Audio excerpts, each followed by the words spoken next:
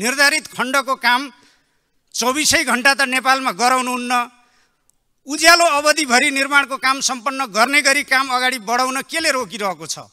बहुवर्षीय ठेक्का लागेको छ बजेट सुनिश्चित भएको छ मदन भण्डारी राजमार्गका विभिन्न ठाउँका निर्माणका काम किन अगाडि बढ्न सकेका छैनन्?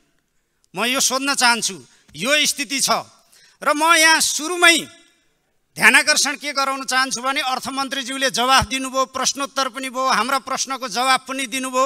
भोलिपल्ट बालुवाटारमा गठबन्धनको नाममा बैठक गरेर अनि बजेट चाहिँ संशोधन गरेर असन्तुष्टि सम्बोधन गर्ने। कस कसका असन्तुष्टि सम्बोधन गर्ने? बालुवाटारमा ठालुहरूले निर्णय गरेर संशोधन हुन्छ भने यो संसदमा यो नौटङ्की किन गर्नु पर्यो? अर्थमन्त्रीले जवाब दिइसकेपछि बालुवाटारमा गठबन्धनका ठालुहरूको बैठक बसेर गर्न खोजिएको के हो? संविधानले कानुनले प्रक्रियाले पद्धतिले यो भन्छ कि भन्दैन? तपाईँ चाहिँ केही पनि कमा फुल स्टप केही संशोधन गर्न तयार हुनुहुन्न सांसदहरूका प्रश्नमा। तर बालुवाटारमा बैठक बसेर संशोधन गर्ने भन्ने समाचार सार्वजनिक हुन्छ। के के विषयमा संशोधन हो?